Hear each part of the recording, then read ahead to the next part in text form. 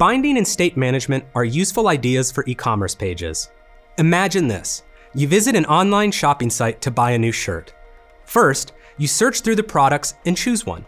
When you get to the selected products page, you might see additional options, such as different fits, different sizes, and different colors.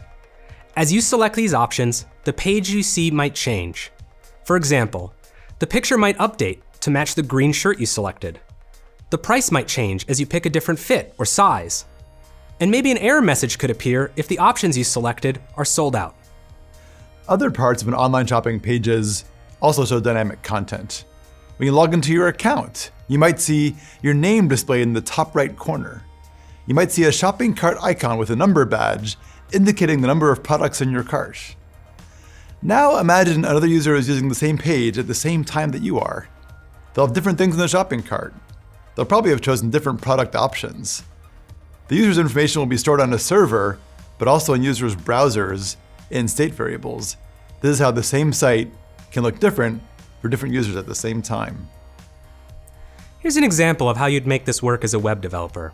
Let's say that our site has a message that greets the customer by name, and a shopping cart that shows the number of selected items, and maybe a subtotal section. Our state variables store the logged in user and the contents of their shopping cart. To make a personalized greeting, we can bind the text value of the greeting to ask users to sign in by default or to include the user's name if they're logged in. We can bind the text attribute of the subtotal price span tag to show the price of the items in their cart. Finally, we can bind the disabled property of the checkout button to whether or not the shopping cart contains exactly zero items. The checkout button is disabled by default, but once a user adds an item to their cart, the button will be enabled. We now have an idea of how we could create an online shopping site using bindings and state variables. First, we need to store each product option's value in a state variable. We need pricing and availability information that corresponds to product options. For example, we need to know the price of a green men's XL shirt versus a women's red S shirt.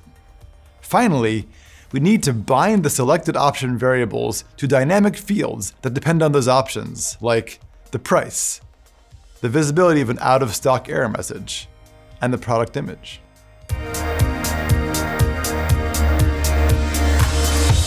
In this next exercise, we'll create a basic e-commerce product page like the one in our case study. We're going to create a sample product customization page, practice complex binding expressions, and experiment with initial state variables. As you can see over here, our product is a shirt that can be customized by fit, men's or women's, size, small, medium, or large, and the color, red, green, or blue. On our product page, the product description and price will change based on the user's selections. Also, the shirt's image will change when the user selects a color. Remember, we're not going to build this product page inside Chico's Cheese Bikes. This is a separate site. We'll use a special glitch repository for this exercise. This glitch repository contains basic CSS and HTML to lay out the product page, state variables describing the cost of the product, upcharges for various options, and URLs for the various product images, the glitch also contains an amp state component to hold state variables with initial values. You'll find the link to this repository in your video description. Remember to remix it so that you can edit it. And now here's the data we'll use in this exercise. The ID of the amp state component is product data. So for example, to get to the base price for an item, you'd use product data.baseprice. We've also got here some customization options and how much each of them raises the item's price which is called an upcharge. For example, product data.upcharges.size.medium is the upcharge for a medium t-shirt. To get the shirt's final price, just add that upcharge to the price.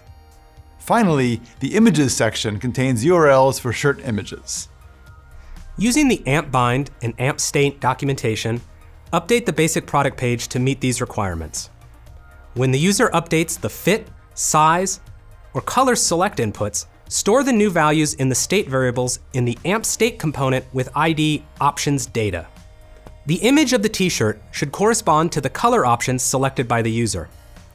The P tag containing the product description should update to reflect the currently selected product options.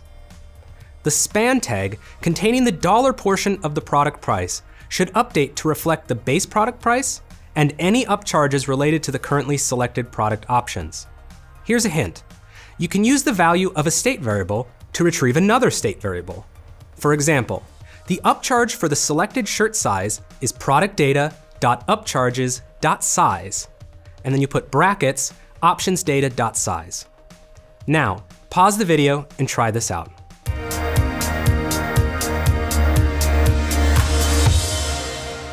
And here's the solution. First of all, here are our select tags. Notice that our event handlers update a state variable whenever the change event occurs. For example, when the product size select box changes, the options optionsdata.size state variable gets updated to the value of event.value. And here are the changes to the rest of the product page. The AMP image component already had a default source attribute. Now we've added a bound source attribute that shows the shirt of the right color. The description paragraph tag combines the option types and option values into a new string. Finally, in the price span, we add the base price to the appropriate upcharges. To see all the code for this solution, check the link in the video description.